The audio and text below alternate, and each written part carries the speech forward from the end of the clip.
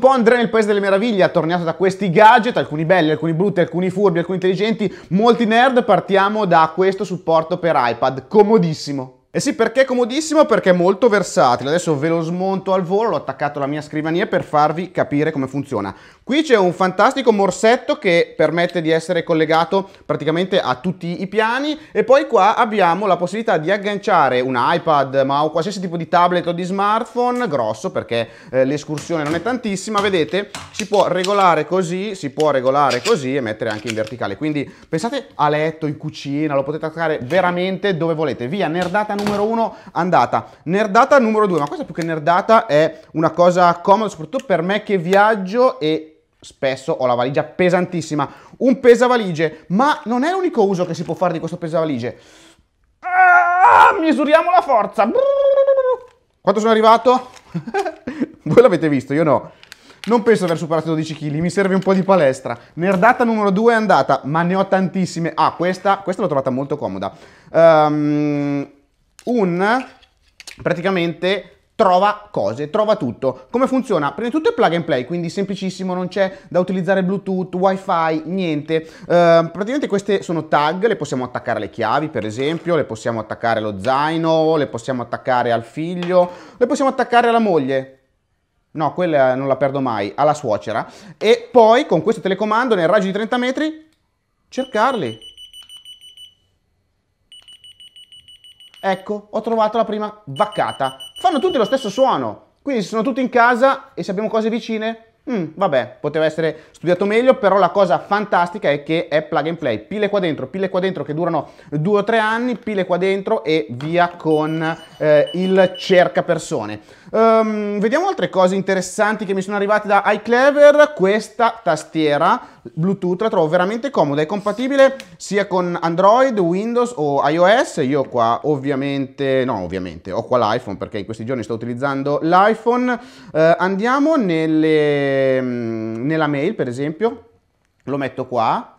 In tutte queste cose non ho un supporto, me lo sono dimenticato.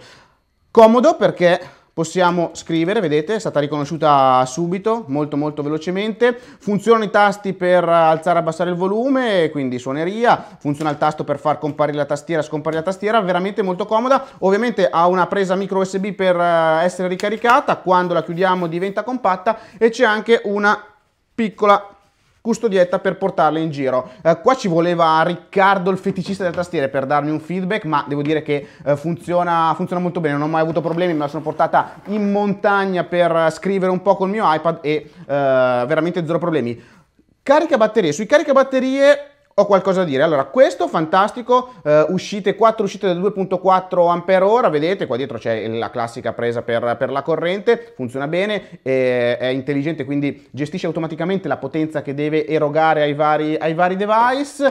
Uh, ma, ma, ma, ecco, qua ce n'è uno invece che non mi ha convinto. Questo uh, carica batteria due porte, non è che non mi ha convinto, funziona bene, anche lui riconosce automaticamente i device che hanno bisogno di tanta potenza rispetto a quelli che hanno bisogno di poca potenza, ma io l'avevo utilizzato vicino a letto, sul comodino quando non è in carica niente, quindi quando l'alimentatore scarico, emette un ronzio fastidioso, questo zzz, zzz, zzz. E la prima notte l'ho messo lì, ho messo in carica, tutto a posto perché quando carica è silenzioso, verso le 3 apro l'occhio, sento zzz, Insomma, usatelo non in camera da letto, ma in altri luoghi più rumorosi. Um, la nerdata per eccellenza, ovvero il quadricottero, lo tengo per la fine. Uh, vi faccio vedere questa lampada LED, questa è molto molto bella perché non è la solita lampada LED. Allora, prima di tutto è USB, quindi la potrete collegare anche al PC se non avete il PC con tastiera retroilluminata. Qui è una pinzona per poterla eh, attaccare a qualsiasi piano. Anche qua mi serve un po' di palestra per poterla aprire, ma la cosa bella, ve la faccio vedere subito, io l'ho attaccata a un battery pack tra l'altro, è questa. Prima di tutto devo accendere il battery pack, ok? Due potenze di illuminazione e soprattutto colore della luce tarabile. Lo vogliamo caldo, lo vogliamo freddo, lo vogliamo con tutti i colori accesi, lo possiamo fare semplicemente da questo pulsante, pulsante un po' della nonna ma che funziona perfettamente. Um, andiamo avanti con le, con le nerdate, spostiamo questo. Um, ecco, cuffiette Bluetooth e qua ho un contributo esterno. Un posto un po' particolare per provare questi auricolari Bluetooth perché li ho usati tantissimo qua in montagna, molto comodi perché vedete hanno la possibilità di essere attaccati un magnete, con un magnete io li ho tenuti qua durante le mie sciate al collo quando si staccano parte la chiamata e oltretutto abbiamo qua sul, ehm, sul filo il telecomando per accendere e spegnere, alzare e abbassare il volume, eh, le cuffiettine in ear con anche la possibilità dei um, adattatori auricolari, si incastrano abbastanza bene devo dire, ehm, attutiscono abbastanza dal suono attorno, suono stereo, si sentono bene e soprattutto quando arriva una chiamata vi dicono chi è, quindi non c'è bisogno di tirare fuori il telefono dalla tasca. Insomma, interessanti. Uh, questo carica batterie a 4 uscite da macchina è comodissimo perché, guardate. Siamo in viaggio, stiamo tornando alla montagna, eccolo qua, hai Cleaver con 4 uscite addirittura da 2.4 A, quindi carica veloce di 4 dispositivi. Io ho un iPhone, tra l'altro vedete attaccato al supportino magnetico, poi abbiamo qua un iPad per far vedere i cartoni animati e un altro telefono e tutti e tre stanno caricando, c'è ancora una porta libera. Nel viaggio a Livigno ho usato questo cavo per, per iPhone, non è lunghissimo, circa un metro, ma è indistruttibile. Gabri, prova a romperlo. Banana, banana, banana. Beh, rimaniamo in ambito nerdate. nerdate o vaccate. Cos'è questo? Vediamo chi indovina. Beh, non aveva indovinato nessuno perché è un campanello. Sì, è proprio un campanello, guardate. E suona come quelli della nonna. Da cosa è composto? State lì, ve lo faccio vedere subito.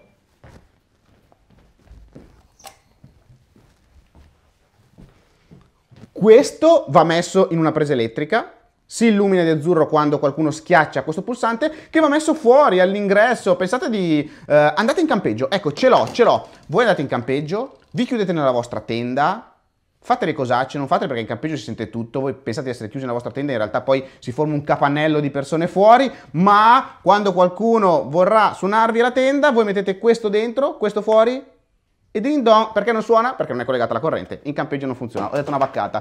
Um, questa invece l'ho comprata per l'armadio. Di notte io arrivo a letto sempre tardi, più tardi di tutti, non voglio mai svegliare nessuno e allora metterò questo nell'armadio, si accende con un tap, si spegne con un altro tap, ma la cosa più bella è che tenendo premuto si dimmera, vedete? Possibilità di aumentare o diminuire la luminosità semplicemente tenendo premuto e con un tap si spegne, funziona con tre pile normali AA eh, che non sono incluse nella confezione, eh, neanche qua sono incluse le pile nella confezione, un'altra cosa che ho preso in, praticamente per capire se era meglio questo o questo, eh, ovviamente l'ho toccato e si è acceso, Devo dire che è meglio quello tondo, perché questo prima di tutto per accenderlo è più scomodo perché bisogna andare a beccare questi due ehm, elettrodi, perché è una cosa capacitiva, sente le nostre dita, e anche qua la luminosità non è altissima, guardate, un po' floscetta, però può essere regolato, vedete qua, destra-sinistra, per illuminare un armadio magari potrebbe andare bene anche questo. Genialata del secolo, cos'è questo? Non è un semplice adattatore Bluetooth per collegare eh, allo stereo una qualsiasi sorgente che è già Bluetooth, ma può diventare una trasmittente Bluetooth. Uh, avete presente i nostri genitori, forse anche i nostri nonni che andavano in giro con la radiolina per ascoltare le partite la domenica? Adesso le partite sono spalmate tutta la settimana. Bene, questo potrebbe trasformare anche quella radiolina in un apparato che trasmette via Bluetooth, magari per collegarci le vostre cuffiette Bluetooth o magari per collegare anche un, um, un altoparlante Bluetooth che volete sentire in un'altra stanza. Insomma, questo rende smart e Bluetooth qualsiasi apparato semplicemente collegandolo con la, la spinetta analogica. Um, questa è una cuffia che è una cuffia, è un altoparlante comprato per mio figlio che adora ascoltare la musica in camera sua, uh, solo che gliela voglio comandare anch'io quando sono da soggiorno, l'ho acceso, si accende semplicemente qua, può funzionare anche da uh, Bluetooth uh, viva voce, quindi ha il microfono, boh, funziona, funziona, bene, mi serviva una, un apparato di questo tipo, ah, ok, sto andato nelle foto, sono un po' stordito, andiamo nella musica e bublé.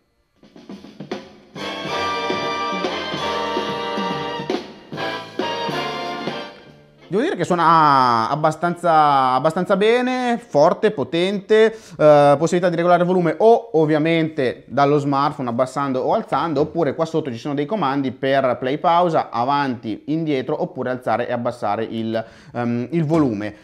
Allora, io sono un architetto, sì, ormai sto quasi facendo più il blogger, lo youtuber dell'architetto. I clienti quando mi dicono ma tu sei Andrea Galeazzi? No, ma dai, eh, non puoi fare bene l'architetto. In realtà non è vero, no, qualche lavoretto ce l'ho e sono molto fiero di essere architetto.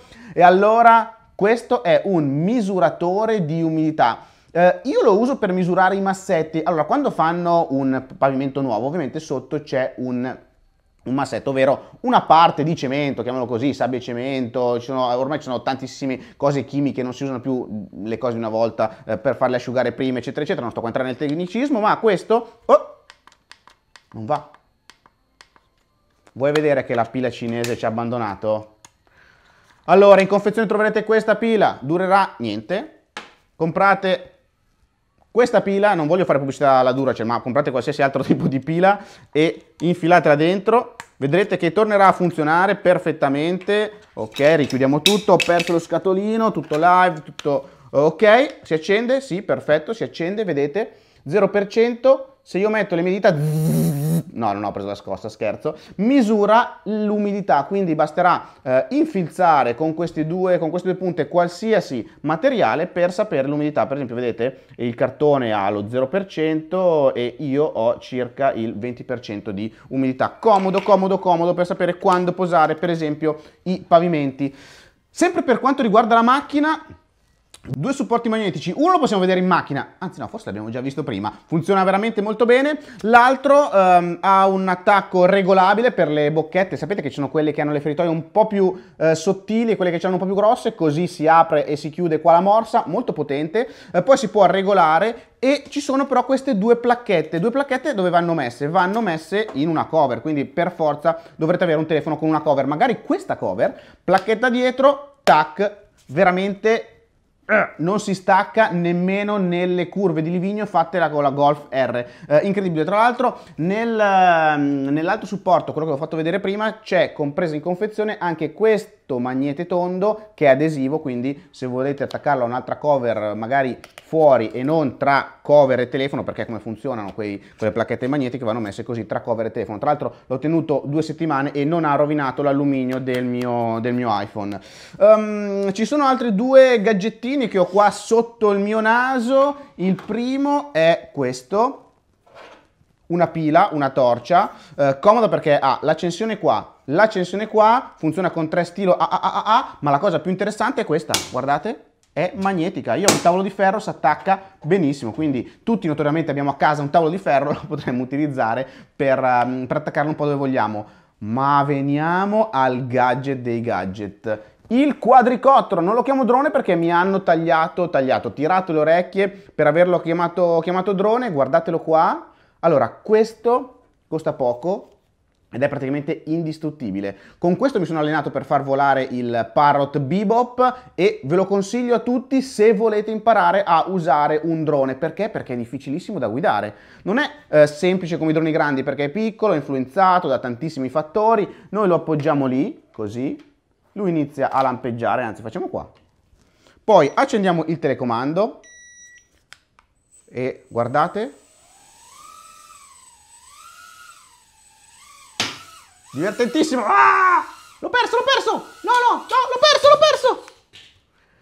Ragazzi, avete capito che per imparare a guidare un drone, quello è fondamentale per non buttare via 1000 euro. Insomma, io mi sono divertito un casino, spero anche voi. Ciao! Ah no, un'ultima cosa importantissima. Ringrazio iClever per avermi mandato tutto questo ben di Dio e visto che me l'hanno mandato con un gran bel buono gratis, io prendo tutto, metto uno scatolone e lo porto alla colazione. Ci accapiglieremo per per dare questi gadget a tutti voi. Ciao!